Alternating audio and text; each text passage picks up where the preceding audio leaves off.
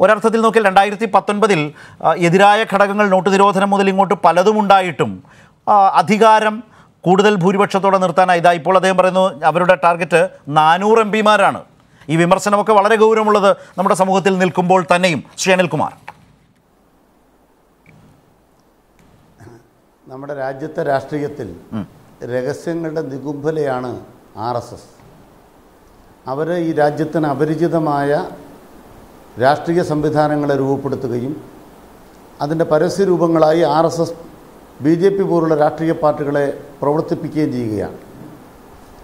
ശ്രീ പറകാല പ്രഭാകർ ചൂണ്ടിക്കാണിച്ച ഏറ്റവും പ്രധാനപ്പെട്ട കാര്യം നരേന്ദ്രമോദി എന്നത് തന്നെ ഇപ്രകാരം ആരോ പിന്നിൽ നിന്ന് നയിക്കുന്ന ആരുടെയോ തിരക്കഥയനുസരിച്ച് ചലിച്ചുകൊണ്ടിരിക്കുന്ന മരപ്പാവ് കണക്ക് സഞ്ചരിച്ചുകൊണ്ടിരിക്കുന്ന ഒരു വ്യക്തി എന്ന നിലയ്ക്കാണ്. അദ്ദേഹത്തിന് രാജ്യത്തെ രാഷ്ട്രീയം അറിയില്ല രാജ്യത്തിന്റെ സാമ്പത്തിക ശാസ്ത്രം അറിയില്ല ഈ രാജ്യത്തെ ഭരിക്കാനും അദ്ദേഹത്തിനും അദ്ദേഹത്തിന്റെ രാഷ്ട്രീയത്തിനും ആവില്ല. വെറുപ്പ് വളർത്തിക്കൊണ്ടുവരാതെ വിദ്വേഷം വളർത്തിക്കൊണ്ടുവരാതെ മതപരമായ ചിഹ്നങ്ങളെ ഉപയോഗിച്ചുകൊണ്ടല്ലാതെ നരേന്ദ്രമോദിക്ക് നമ്മുടെ രാജ്യത്ത് ഒരു കാര്യവും ചെയ്യാനാവില്ല.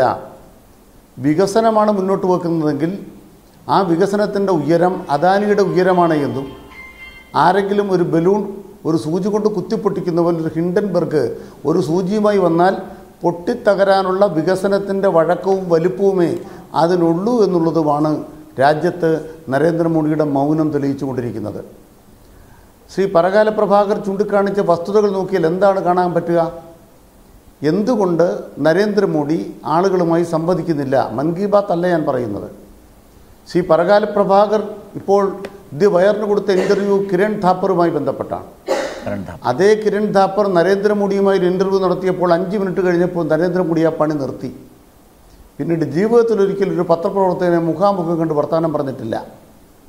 ഒമ്പത് കൊല്ലം ഇന്ത്യ ഭരിച്ച നരേന്ദ്രമോദിക്ക് എന്തുകൊണ്ട് മാധ്യമപ്രവർത്തകരുടെ ചോദ്യങ്ങളിൽ നിന്ന് ഒളിക്കാനിട വരുന്നു അതൊരു വ്യാജ വ്യക്തിത്വമാണ്. നമ്മൾ വിചാരിക്കുന്ന പോലെ നരേന്ദ്രമോദി സ്വന്തം ചിന്ത പറയുകയല്ല. ആരുടെയോ ചിന്തയെ ഛർദ്ദിക്കുകയാണ് നരേന്ദ്രമോദിയുടെ പ്രസംഗങ്ങൾ. നമ്മൾ കേൾക്കുന്നുണ്ടല്ലോ തമിഴ്നാട്ടിൽ ചെല്ലുമ്പോൾ വെട്രി വെട്രി വെട്രിവേൽ മുരുകൻ. കേരളത്തിൽ വരുമ്പോൾ ശബരിമല ശരണം അയ്യപ്പ ദാ ഇപ്പോൾ ബജറംഗ് ബലി.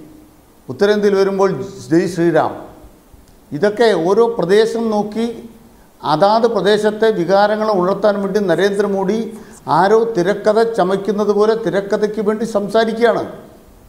ഇദ്ദേഹത്തിന് രാഷ്ട്രീയം അറിയില്ല സാമ്പത്തിക ശാസ്ത്രം അറിയില്ല. ഇപ്പം വികസനത്തെക്കുറിച്ച് പറഞ്ഞാൽ പട്ടിണിക്കാരുടെ സൂചികയിൽ നമ്മുടെ രാജ്യം എത്ര സ്ഥാനത്തായി? ഹാപ്പിനെസ് ഇൻഡെക്സിൽ നമ്മുടെ സ്ഥാനം രാജ്യം എത്ര സ്ഥാനത്തേക്ക് പുറകോട്ട് പോയി? തൊഴിലില്ലാത്തവരുടെ എണ്ണം ഒരു കൊല്ലം രണ്ട് കോടി വെച്ച് പതിനെട്ട് കോടി മനുഷ്യർക്ക് തൊഴിൽ കിട്ടണം. ഇപ്പം നരേന്ദ്രമോദി ഇന്നലെ എഴുപത്തോരായിരം പേർക്ക് നിലവിൽ സർവീസിലുള്ള ആളുകളുടെ പോസ്റ്റ് നികത്തിയിട്ട് വലിയ കാര്യമാണെന്ന് പറയുന്നത് കിട്ടും. ഇതാണ് നരേന്ദ്രമോദി. അപ്പോൾ നമ്മൾ ആലോചിക്കേണ്ടത് വാഗ്ദാനങ്ങൾ നടപ്പാക്കിയിട്ടില്ല എന്ന് മാത്രമല്ല താൻ ഒമ്പത് കൊല്ലക്കാലം ചെയ്ത കാര്യങ്ങളെക്കുറിച്ച് ജനങ്ങളോട് സംവദിക്കാൻ ഭയമുള്ള ഒരു മുഖ്യമന്ത്രി പ്രധാനമന്ത്രിയാണ് നരേന്ദ്രമോദി. പക്ഷേ പ്രധാനപ്പെട്ട ഒരു ചോദ്യമുണ്ട് എന്തുകൊണ്ട് രണ്ടായിരത്തി പത്തൊമ്പത് നോട്ട് നിരോധനം ഉണ്ടായിട്ടും ജി എസ് ടി ഉണ്ടായിട്ടും ജനങ്ങളിൽ ദുരിതമുണ്ടായിട്ടും? വളരെ ശരിയായ കാര്യമാണ്. അതിന്റെ പ്രധാനപ്പെട്ട കാര്യം എന്താണ്?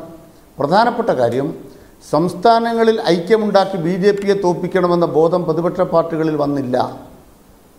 രണ്ടാമത്തെ പ്രധാനപ്പെട്ട കാര്യം രാജ്യത്തെ പല പ്രതിപക്ഷ പാർട്ടികളും ബി ജെക്കൊപ്പമായിരുന്നു ഇപ്പോൾ എന്താ അവസ്ഥ?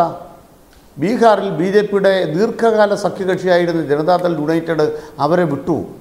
ബീഹാറിനെ കുറിച്ച് എന്താ സംസാരിക്കേണ്ടത്? ശിവസേന ശിവസേനയുടെ അനുഭവം എന്താണ്? ബി ജെ പിയോട് കൂടിയോടുകൂടി ശിവസേന പിളർന്നു അല്ലെ പിളർത്തി. അതിൽ എം എൽ എമാരെ ചാക്കിട്ടുകൊണ്ട് പോയി. അവരുപേക്ഷിച്ച് പോയി.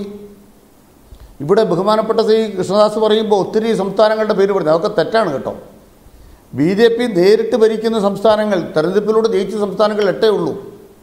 പിന്നെ ഒരെണ്ണം കർണാടക ഉണ്ടായിരുന്നു ഇപ്പോൾ പോയല്ലോ. പിന്നെ മധ്യപ്രദേശ് നേരിട്ട് ജയിച്ചതല്ല വളഞ്ഞ വഴി കൂടെ ജയിച്ചതാണ് ബാക്കി സ്റ്റേറ്റുകൾ അഞ്ചെണ്ണം അഞ്ചെണ്ണം ഉത്തര വടക്ക് കിഴക്കൻ സംസ്ഥാനങ്ങൾ അവിടെയൊക്കെ എത്ര എത്ര സീറ്റാണ് ഉള്ളത്? എവിടെയാണ് ബി ജെ പി പ്രധാന പാർട്ടിയായിരിക്കുന്നത്? യു പിയും ഗുജറാത്തും ആസാമും ത്രിപുരയും പ്രധാനപ്പെട്ട പാർട്ടിയാണ്. ഹരിയാനയിൽ ബി ജെ പി സഖ്യകക്ഷിയാണ്. എന്നാലും പ്രധാനപ്പെട്ട പാർട്ടിയായിട്ടുണ്ട്. പറയാം. പിന്നെ ഏത് സംസ്ഥാനത്തെ ബി ജെ പി പ്രധാനമായിട്ട് നിൽക്കുന്നത്?